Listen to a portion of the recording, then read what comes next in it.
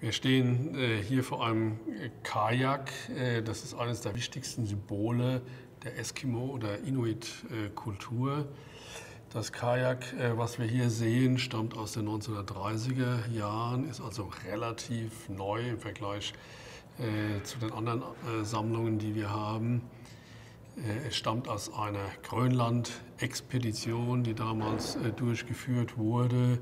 Und weil es äh, so neu ist, ist es auch relativ intakt. Das älteste Kanu, was sich hier in Deutschland befindet, ist so ungefähr 500 Jahre alt, befindet sich im Museum in München. Ähm, denn schon in, in sehr früher Zeit sind von Grönland äh, Eskimo nach Europa gekommen, die offensichtlich durch Stürme abgetrieben äh, worden sind. Und äh, solch ein Kajak äh, muss das sein. Ähm, äh, genaue Herkunft äh, kennt man nicht, aber das waren mit die frühesten Kulturen außereuropäischer Völker, die in Europa, vor allem natürlich Nordeuropa, bekannt waren. Und wegen dieser Fremdartigkeit dieser Kultur hat man diese Dinge auch aufbewahrt. Wir haben andere Kanus in unserer Sammlung, die sind etwas älter, aber leider äh, nicht mehr ganz so intakt. Äh, Kanus bestehen äh, aus einem Rahmengestell aus Holz. Das Holz ist in der Regel Treibholz, äh, das dann entsprechend bearbeitet wird. Und Kanus werden dann äh, mit Haut, äh, meist von Seehunden, bespannt. Das ist also eine Spannung, die das Leder, ich sage jetzt mal, unter Stress setzt. Ja? Und deshalb sind natürlich Kanus, die längere Zeit sich in einem Museum befinden. Da trocknet das Leder aus, es reißt und so weiter. Und deshalb sind intakte Kanus relativ selten. Selten ist auch, dass eine vollständige Ausrüstung vorhanden ist. Meist sind diese Dinge einzeln in Sammlungen gekommen. Aber hier haben wir diese Dinge mal zusammen. Ich fange mal vorne an. Da ist zunächst ein Kanustuhl äh, zu sehen. Der dient dazu, die aufgewickelte Leine äh, zu halten. Diese Leine hat eine Harpunenspitze. Die Spitze wird dann auf die eigentliche Harpune, also den Speer mit Vorschaft, draufgesteckt. Und wenn der Jäger ein Tier getroffen hat, einen Seehund beispielsweise, bleibt die Harpunspitze in dem Tier stecken, die Leine rollt sich ab und hinter dem Einstiegsloch sehen wir einen Luftbalg. Das ist ein Seehundbalg, der abgedichtet ist, mit Luft gefüllt. Das ist also die Schwimmblase. Die Leine ist mit dieser Schwimmblase verbunden. Das heißt also, das Tier kann nicht abtauchen, sondern wird festgehalten. Der Jäger kann das Tier äh, an der Leine äh, an den Bootsrand äh, heranziehen und mit dem dann an Land paddeln. Zum Paddeln äh, wird das Doppelpaddel äh, verwendet, das wir hier sehen. Das ist aus Holz gefertigt und hat vorne eine Knochenverstärkung, damit das Holz nicht so leicht splittert oder sonst wie kaputt geht. Was auch sehr wichtig ist, äh, hinter mir äh, ist der Kajakgürtel. Den Gürtel legt sich der Jäger um die Hüften, so ähnlich wie beim Motorrad gibt es ja auch den Nierengürtel.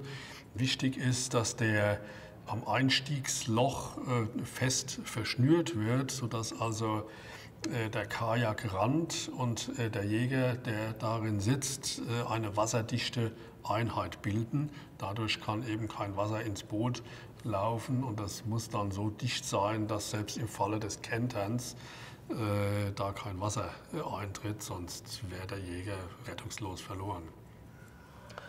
Interessant sind also ein paar Erfindungen, äh, da habe ich ja schon äh, darüber berichtet. Eskimo haben alles Mögliche Nützliche äh, erfunden. Und was wir hier sehen, ist ein paar Handschuhe mit Doppeldaumen. Das sind also Fäustlinge, die aber auf beiden Seiten einen Daumen haben. Und ich habe mich lange Zeit gefragt, wozu ist das gut? Ist mir mal eine Kollegin, die wirklich Eskimo-Spezialistin ist, das erklärt hat. Das ist eigentlich relativ simpel. Wenn der Jäger äh, unterwegs ist auf See und paddelt, äh, dann gibt es meist Spritzwasser. Das heißt, das Paddel wird nass und glitschig und äh, damit auch die Oberfläche der Handschuhe, mit der er das Paddel hält. Und äh, die Rückseite ist dann relativ trocken. Das heißt, wenn es zu glitschig wird, nimmt er die Handschuhe, muss sie gar nicht ausziehen, äh, zieht sie einfach ein Stück hoch, dreht sie rum. Die trockene Seite ist vorne, die nasse hinten und dann kann er weiter paddeln, ohne dass ihm das Paddel aus der Hand glitscht. Ja. Und dann trocknet die andere Seite wieder und dann kann er sie wieder rumdrehen. Ja. Das ist also das Geheimnis äh, der Fausthandschuhe äh, mit Doppeldaumen. Ja.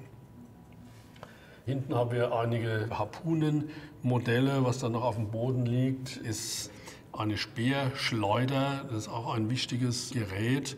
Da kann man die Bewegung des Unterarms verlängern, sodass eben äh, in der Harpune, die geworfen wird, mehr Schwung und damit auch mehr Kraft äh, drin ist, äh, sodass man die Harpune weiter werfen kann. Es gibt immer noch Jäger, die auf die traditionelle Art und Weise auf Jagd gehen und da wird ein Kanu, nicht ein Kanu, ein Kajak benötigt dazu. Klar, also es gibt heute noch Kajak.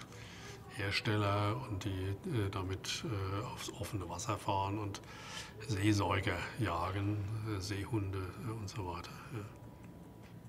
Natürlich können nicht alle Bewohner der Arktis heute noch in der traditionellen Lebensform leben, wie das vor 100 Jahren der Fall war, aber die Zivilisation, um das mal so zu nennen, hat relativ spät erst Einzug in die Arktis gehalten, so ab den 1930er, 40er Jahren etwa. Äh, vor allem in Alaska hängt es auch zusammen mit dem Zweiten Weltkrieg, denn während des Krieges äh, haben die Amerikaner zum ersten Mal entdeckt, dass dieses Riesenland Alaska, das sie da gekauft haben, 1867 von den Russen, dass das ja vielleicht zu was Nütze sein könnte und haben da Horschposten aufgestellt Richtung Russland. Ja. Und so sind äh, die Eskimo Alaskas eigentlich zum ersten Mal in den äh, 1940er Jahren äh, mit der westlichen Zivilisation der Amerikaner äh, in Berührung gekommen in größerem Umfang. Vorher war das Land, was eigentlich niemand äh, interessiert hat. Und danach wurde äh, da natürlich Öl gefunden und so weiter. Und plötzlich äh, gab es einen Boom, äh, so ähnlich wie beim Goldrausch äh, in den 1890er Jahren, ein Boom nach Alaska. Ja.